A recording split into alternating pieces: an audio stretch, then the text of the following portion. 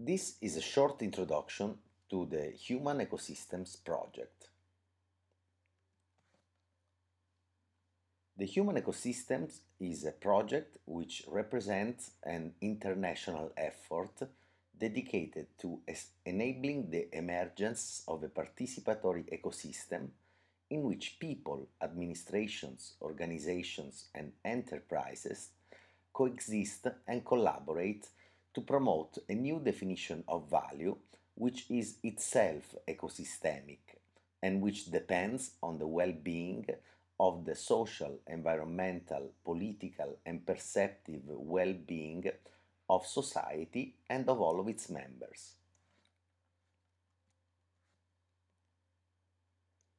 Human ecosystems tries to achieve this objective by gaining better understandings of cities' relational ecosystems, which means understanding the ways in which people in cities organize themselves in communities and cultures, and the roles which they have in them, how they communicate, exchange information and knowledge, how they express emotions and opinions, how they form bridges or boundaries, and how this continuous flow of information and communication and interactions provokes positive change. We collect all this data in cities using social networks, sensors, and other sources of information, and we transform this resulting information about the relational ecosystems of cities into a source of open data so that it is accessible and usable from a variety of stakeholders bringing a wide array of benefits to citizens, administrations, organizations, and communities. The project started in Italy, in the city of Rome, and is quickly spreading to multiple cities across the planet.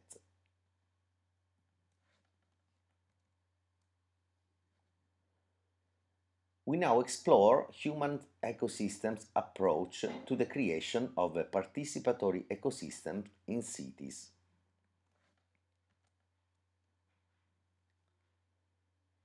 We base our practice on the concept of microhistory, which was born during the 60s when a series of history, anthropology, and socio sociology researchers realized that most large-scale issues could not be fully understood by analyzing macro events, and that the possibility to comprehend the networks and the myriads of micro events happenings in people's daily lives was needed to fully understand the causes, forces, and interactions which happened at larger scales.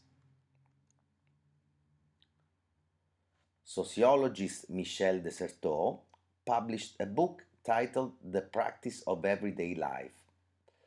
De Certeau was convinced about the revolutionary potential represented by people's continuous creativity. In the book, he identified the distinction between strategies and tactics. Strategies are the administrative and bureaucratic dimensions of life laws, regulations, forms to be filled, and administrative boundaries, for example. Tactics, instead, constitute the ways in which people continually navigate strategies, continuously reprogramming them to adapt and personalize them in their daily lives. Tactics, according to de had a revolutionary potential as they represented a constructive, positive space in which people constructed their reality and fulfilled their desires and expectations with a high degree of collaboration and self-organization. Strategies are top-down, tactics are bottom-up, and they both coexist in the world in a continuous struggle and interaction, defining a space, a public liminal space in which a positive, constructive, uh, creative conflict exists. This space has been named the third space by Edward Soja. Tactics have one large problem, their legibility. Tactics are often not legible. This means that they fail in becoming a source of knowledge which is shareable and usable by multiple people and in other contexts. Tactics, most of the times, live and die with the people who enact them, leaving no trace. If we could learn from tactics and build upon them in participatory, collaborative, and inclusive ways, positive change would come about. We need to learn how to see the third space. A similar concept is used in architecture by Marco Casagrande in the notion of the third generation city and in the theory of urban acupuncture. In them, he defined the methodologies to understand cities' flows of information, communication, knowledge, and interaction across cultures and communities to identify the pressure points, just as in acupuncture, which can then be leveraged to enact punctual interventions which provoke wider, inclusive, and participatory change. In human ecosystems, we use both of these approaches. This is the city of Turin in Italy. It is uh, reconstructed in the image uh, through its social networking messages. Imagine starting from a black image and whenever a social network interaction happens in the city, to turn on the corresponding point in the image, making it brighter and more saturated as the messages build up. As you can see, the entire city can be reconstructed in this way. This other image highlights where people speak Italian in the city. This one highlights where people speak Arabic in the city. As you can see, they are two entirely different cities in the same physical space. This other image highlights the location in the city of Turin in which and for which people have expressed the desire for a transformation in the city. A park, a public swimming pool, more frequent buses, more safety, different forms of social spaces, and so on.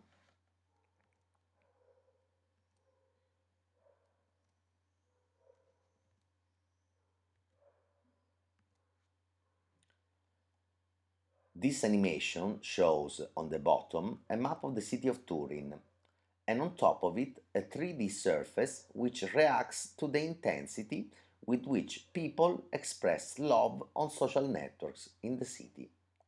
It is love in Turin. We can do this for multiple emotions, understanding where, why, when, how often, in what context, from what cultures and communities people express fear, joy, happiness, trust, hope, frustration, and other emotions.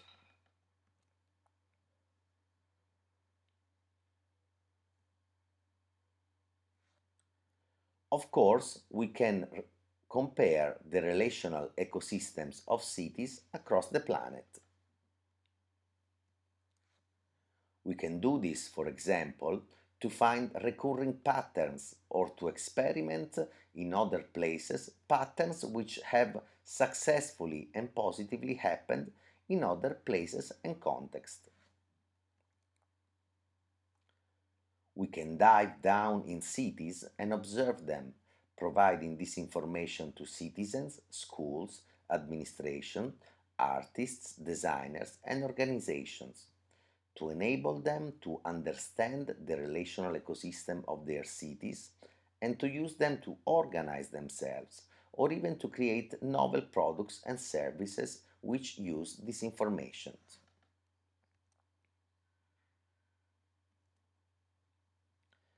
For example, this is what 5 seconds of Rome relational ecosystem looks like.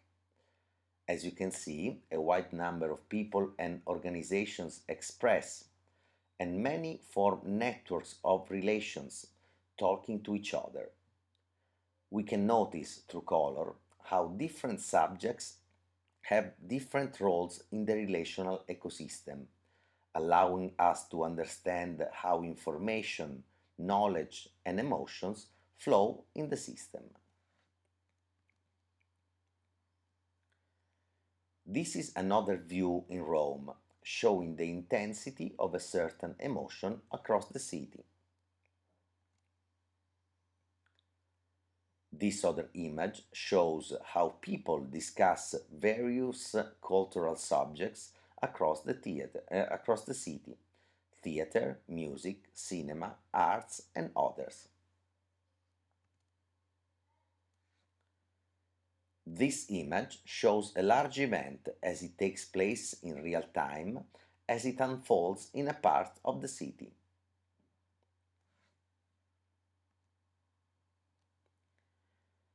These three interfaces show different kinds of compasses which have been created using the human ecosystems. The first two on the left highlight the possibility of danger in the proximity of the user. Imagine it, for example, in the case of an emergency scenario, such, such as a natural catastrophe or a violent riot, in which people could use social networks to express the availability of shelter, uh, help, or to find each other. The third one, on the right, is an emotional compass it doesn't point to the cardinal signs, but to the directions in which various emotions have been expressed in the city. You can recognize them through colors. It is a different way to navigate the city.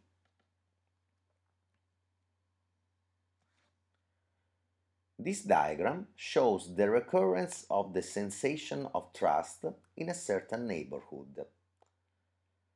It is useful for everything from public administration to citizen self-organization to even real estate.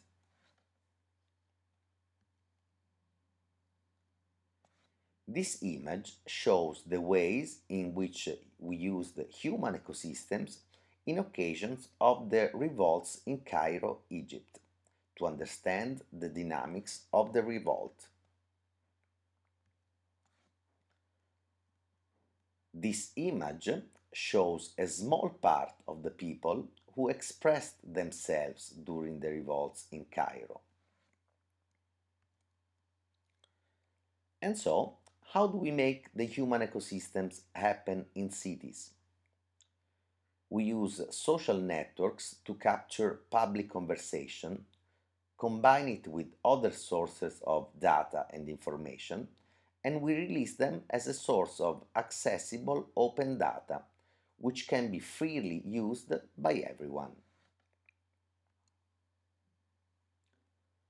Multiple processes are involved, allowing us to understand the places, emotions, relations, and themes which are discussed across the city and in its communities and cultures. all of these are combined uh, to provide not only a source of data, but also a set of services and opportunities which are truly accessible, usable, and inclusive. In each city, we create a laboratory and what is called a real-time museum of the city. The real-time museum of the city is a real museum in which the relational ecosystem of the city is exhibited. It is an iconic, breathtaking, visionary experience which allows you to see the city's life unfold before your eyes. Communities and cultures in the city can be explored. You can even find yourself and see who you, you're connected with, who is interested in the things you're interested in, whether you're connected with them, or find ways in which to form bridges and interactions. You can move back and forth through time to understand how the emotions, relations, and issues in the cities transform and evolve. Closely connected to the real-time museum of the city is the laboratory. Here, teachers and mentors allow you to learn how to use the relational ecosystem of the city for your own purposes. Whether you are a citizen wishing to collaborate with other citizens, maybe to clean up a park, an administration desiring to create a participatory decision making process, an artist wanting to create a generative artwork which reacts to the city's emotions, a designer wanting to create innovative products or services, a school desiring to teach each, its students how to bring about civic engagement, or about just anything else. The lab is the place to go.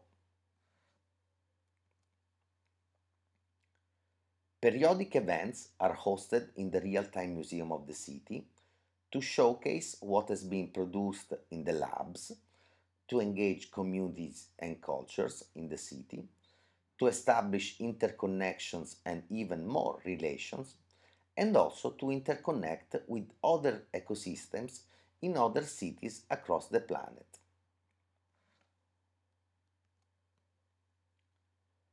Everything that is created in the human ecosystem is shared across all its instances in cities worldwide, creating a new commons.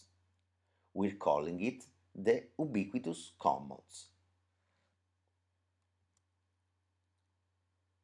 Thank you and see you in the human ecosystem.